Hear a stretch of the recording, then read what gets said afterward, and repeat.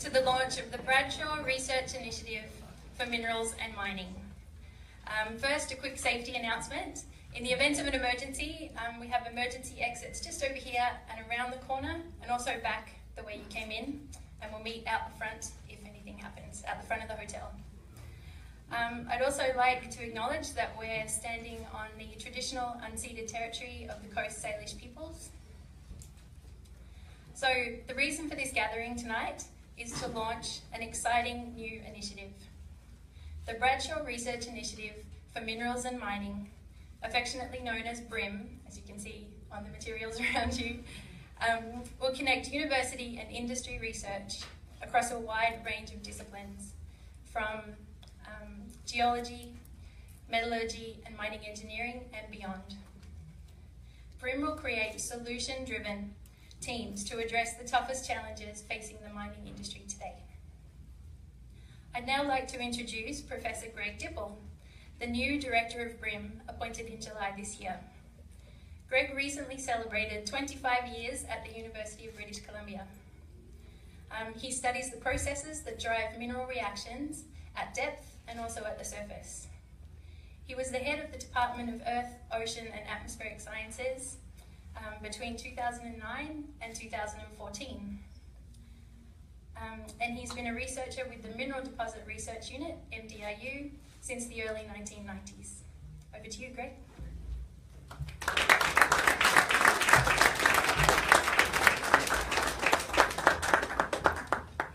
Thank you, Kylie.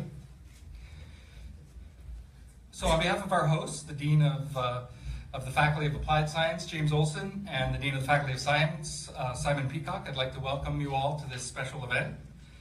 Uh, tonight we also have the honor of being joined by Gail Murphy, the Vice President Research and Innovation at the University of British Columbia. We also have uh, founding members of the Mineral Deposit Research Unit, Peter Bradshaw, John McDonald, Alistair Sinclair. We have the MDRU Director, Craig Hart, and the head of the Norman B. Keevil Institute of Mining Engineering, Scott Dunbar, who is floating around somewhere. He's waving from the back of the room. So um, we rely on the products of mining every day in our homes, cities, for communications, and in vehicles. And as an industry, we're governed by rules that regulate their extraction. The products we mine are changing, particularly as we transition to a low carbon, clean tech economy. But the overall process of finding, extracting, and processing minerals from the ground remains the same. In an increasingly energy aware society, we still need mining and we're united in our efforts to do it smarter, safer, cleaner, and more efficiently. And that's really the goal of BRIMM.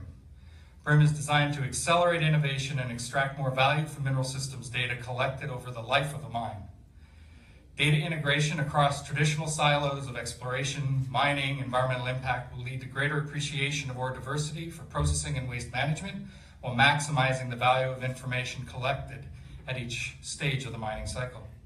As new technologies and knowledge are applied to mineral discovery, processing, and waste management, they'll benefit from considering the insights and applications across the full mining cycle. The proximity of a world-class industry community and a top 40 research uni university has generated many strong research collaborations between industry and academia. These have largely grown as one-on-one -on -one research collaborations or in disciplinary clusters. An appreciation for the breadth and depth of expertise in mining and minerals at UBC is generally lacking both on campus and downtown. The Norman B. Keevil Institute of Mining Engineering, the Hydrometallurgy Group, the Mineral Deposit Research Unit, the Geological Engineering Group, Geophysical Inversion Facility are each recognized as global leaders in their disciplines, as are many individual researchers. But historically, they have worked in isolation of one another, and their reputational benefit in industry is disconnected. Recognize the benefit of integrating the minerals industry research across all relevant disciplines at UBC, both for advancing new interdisciplinary programs and for building stronger research partnerships with industry BRIMM is focused on six goals that are highlighted on the slides that you'll see cycling through the TV screens this evening.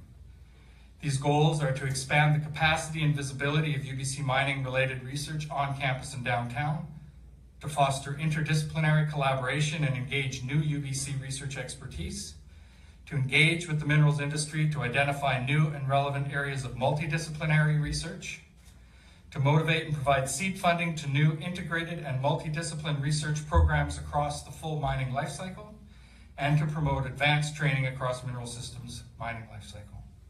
We also fully intend to increase the mining related research capacity at UBC by engaging with new faculty members and ultimately influencing hiring at the University of British Columbia.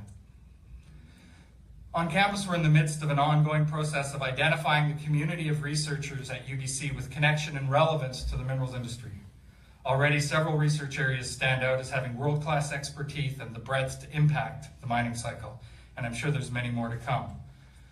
As the slides cycle through, you'll see examples of some of these groups, including the mining microbiome, geometallurgy and tailings, and a theme on water.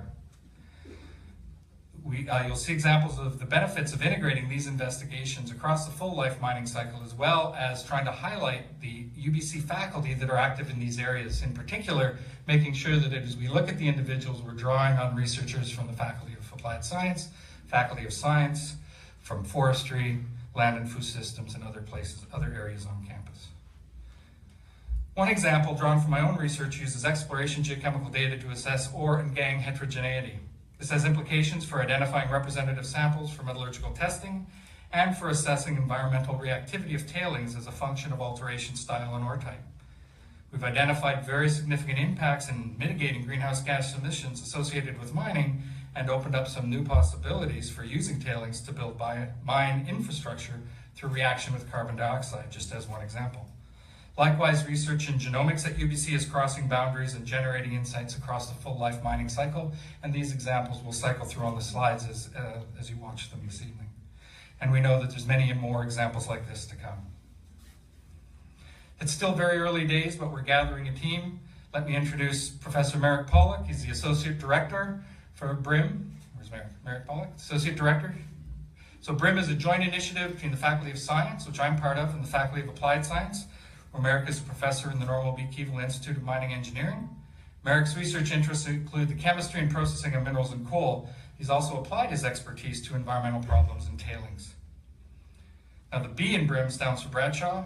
BRIMM has been made possible through the leadership and a generous financial gift from Dr. Peter Bradshaw.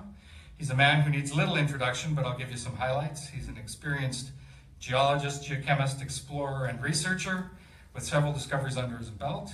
He was inducted into the Canadian Mining Hall of Fame in 2015 in recognition of his achievements in the mining industry, including significant discovery in Papua New Guinea and his work on social issues around mining.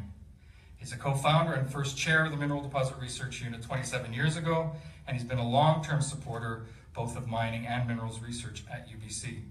First of all, I want to thank you for your gift, Peter. I hope you'll join me in thanking Peter.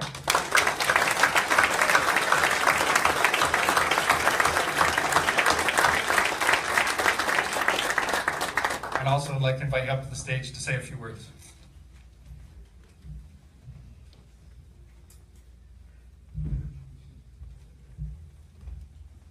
Holy mackerel, what a crowd.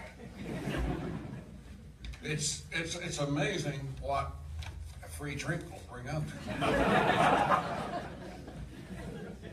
you know, it's come to, to, to, I mean, I mean, this is this has been a dream I've had for, for, for quite a while, and I've got to say, you know, that that, that, that Greg Dipple has been hugely supportive and you know helped helped me a great deal in, in moving this forward. So thank you for that very kind uh, in, invitation. But first, uh, you know, a brief personal note and a bit of background as to why I find this BRIMM initiative most appealing and, and put my support behind it. I was most fortunate to work through the 1970s for Barringer Research, whose core business was airborne methods for mineral and hydrocarbon exploration. Airborne geophysics was early and enormously successful. So adding airborne geochemistry to the same plane seemed very logical. Um, however, that turned out to be a, a little more of a challenge. To, to aid in this development in the mid 1970s, we had the first two commercial ICPs. We had the first use of laser ablation on, on, on geological material. We had some very interesting aircraft installation, including two 16 pin chart recorders. There was no digital at that time. And an ex test pilot for, for continuous low level flying. And he did very well as I can stand here and tell you. We, we developed a laser fluorescensor that could identify hydrocarbon seeps coming from underwater. We drive vacuum cleaners under choppers to collect geochemical samples, and the list by no means stops there. However, finding export, funding exploration technology was a bit of a challenge. So we had to cross other boundaries and develop some of these instruments for other purposes. We had instruments for, for measuring pollution and volcanic activity. One of those is still buried in Mount St. Helens. We had instruments in balloons and also in the shuttle and one in the, in the Mir space station. One interesting co- contract was with the US Army for sniffing out Viet Cong. And every time you're swabbed for drugs or explosives at an airport anywhere in the world, this is a Barringer instrument. The list goes, goes on, and I've had a great pleasure together with, with others in putting together a, a book about these, these methods and the exploits that was published. After Barringer, I joined Placer, later Placer Dome, and was most fortunate as they had a, a in-house project development group that was an effective bridge between exploration and, and, and production. They frequently had one of their engineers in, in the field on our exploration programs. We, we were welcome to, to sit in on, on, on, on their meetings, and we were welcome to visit operating mines. Crossing that exploration production boundary was made easy and enjoyable working with Placer. Placer was also a world leader in working with Indigenous people, which helped me enormously. Most re- more recently, my partner Ron Britten and I formed First Point Minerals, which holds the first nickel deposit in the world, where nickel is in the form of a nickel iron alloy, not a sulfide, not an oxide, as all other nickel mines are. It's very large and will have a very low environmental impact. This is in BC, and I'm very confident when the price of nickel recovers, we'll, we'll be a mine. T- Turning to, to BRIMM, you- you've heard al- already from, from Greg Dipple, so I'll make that short, short. The prime purpose of BRIMM from sort of a very high, high level is threefold. First of all, to, to generate research into any and all aspects of mineral exploration, from discovery to closure, including the environment and social issues. And importantly, research that, that breaks down barriers.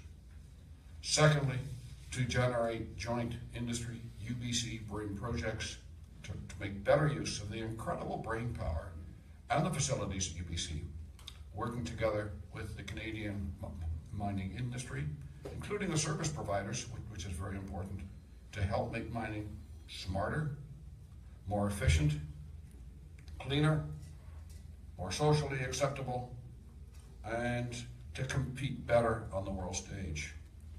And thirdly, and very importantly, train the next generation of students in the new skills that will be required. As Greg outlined, and I will reinforce, the BRIMM director will be from either the Faculty of Science or Applied Science, and the associate director from the faculty. This will ensure that research can indeed cross boundaries. BRIMM will also provide an easy entry point for, for industry to UBC to determine the full range of integrated capabilities that are available to address their problems. Greg referred to, to, to the number of world-class class, uh, groups, possibly silos that, that, are, that, are, that are there, but by crossing the boundaries bet- bet- between them, I- I can only imagine what, what, is capable. Research conducted under the BRIMM banner could also very well use expertise from other universities anywhere in the world, and also second people from, from industry, both companies and service providers, to work on particular pro- projects. UBC, however, will always be the hub. The present here today of, of, of the Dean of Applied Science, James Olson, and the Dean of Science, Simon Pe- Peacock, demonstrates UBC's commitment to support research that crosses boundaries in the whole broad field of, of mineral extraction. extraction. Furthermore, the presence of Gail Murphy, the Vice President of Research and Innovation, who you will hear from shortly, and who has UBC-wide responsibility for these areas, reinforces that commitment. I thank you all for being here. Looking back, I've always enjoyed crossing boundaries and I've been, been lucky with the companies I've worked with. I look forward to the next number of years and the frontiers that BRIMM projects will push back, improve the mineral extraction industry, and expand BC's and UBC's position as a recognized world leader centering on mineral extraction. I'm delighted I'm in a position to help that initiative. Thank you.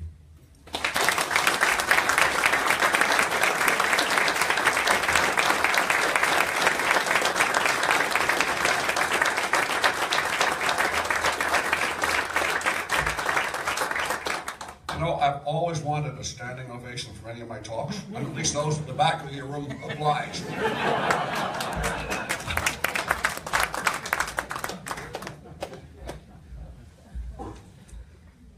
Thank you, Peter.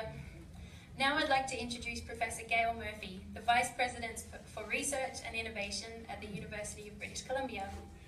Um, she's responsible for directing and supporting the research and innovation activities at UBC and oversees relationships and collaborations like BRIMM. Welcome, Gail.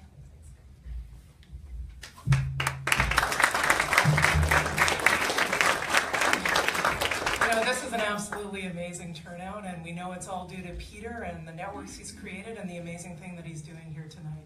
So I'm really delighted to join everybody for the launch of this really exciting new initiative. On behalf of UBC President Santa Ono and the researchers and students from both science and applied science, who are going to benefit from Peter's foresight for years to come, I really would like to thank Peter for his outstanding generosity to UBC.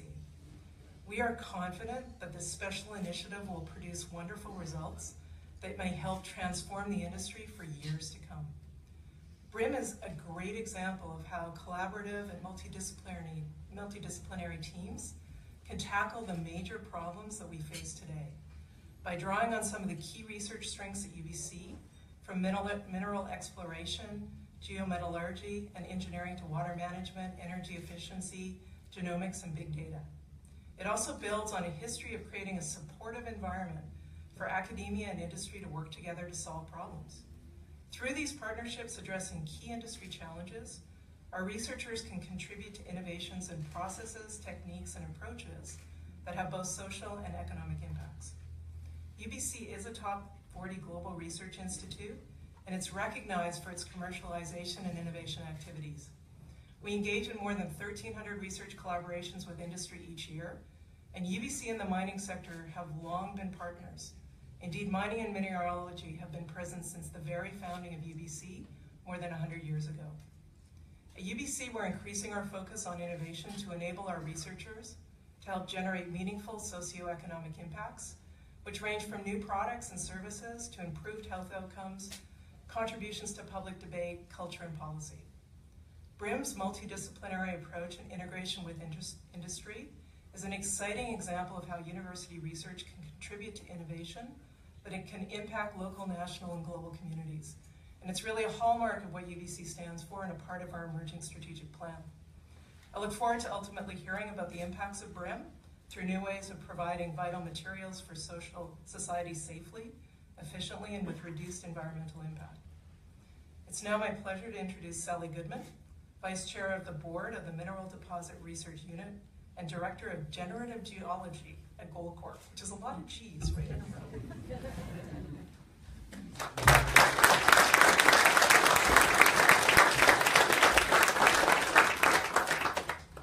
Thank you, Gail. So, from the perspective of someone within the industry, um, breaking down silos to solve challenges in exploration and mining is essential to us. And strangely enough, last week at Goldcorp, we held an off-site technical summit where we got our brightest geologists, metallurgists, and mining engineers from the sites together um, with all the, the greybeards from the corporate office. And we brainstormed some of our challenges. It was really great to see the cross-functional teams come up with, with the issues that are key to making our industry better.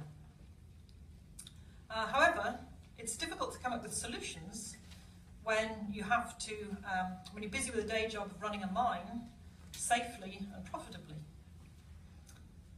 As a sector, we're evolving and changing to use less water, less energy, and to emit less carbon dioxide while still extracting maximum value from our operations, doing more for less. And it simply makes good business sense to be less wasteful and to maximise our resources. And we're doing this in the face of ever tightening regulation. Uh, sometimes that's by legislation in the jurisdictions in which we operate, but it's also by setting efficiency and sustainability goals for ourselves. For example, at Goldcorp, we have a programme that we call Towards Zero Water. The aim of which is to develop a mine with no net water consumption at some future date. And I know other companies have similar initiatives. But setting lofty goals is all very well, but reaching them is another matter. And as an industry, we have some serious challenges, and we have a lot of data, but we need help to turn that data into viable, practical solutions. Innovation doesn't happen in a vacuum, and to make mining more efficient and reduce energy emissions and water use, we need to work with world-leading researchers such as those that you have at UBC. We know that innovation typically comes when someone realises that work being done in one field has the potential to revolutionise another. But that will only happen in a collaborative environment. BRIMM is building on the successful model of MDRU, the 27-year-old Mineral Deposit Research Unit, which I'm currently um, Vice Chair of the Board. For more than a quarter of a century, MDRU has brought together industry partners, students and researchers to solve specific problems, mainly up to this point in the mineral exploration space, um, and supported by industry involvement. MDRU has also played a major role in training the next generation of talent we need to build and grow a sustainable mining industry worldwide. BRIMM will take the MDRU successful, tried and tested method and apply it across the whole mining cycle, from early discovery through mining, processing, and on into rehabilitation. So, on behalf of the mining industry, I look forward to working with you to develop the mines of the future. And how this works, whether we hand over all our data and just let you have at it, or whether we embed some of our brightest into your research groups, or take some of your researchers and embed them into our minds, that's still up for discussion. But however it works, I'm sure I speak on behalf of all industry representatives that are here when I say I'm really very excited about the potential of this collaborative venture to produce really meaningful results. And I can't thank Peter enough for having the commitment and the vision to establish the Bradshaw Research Initiative for Minerals and Mining. Thank you,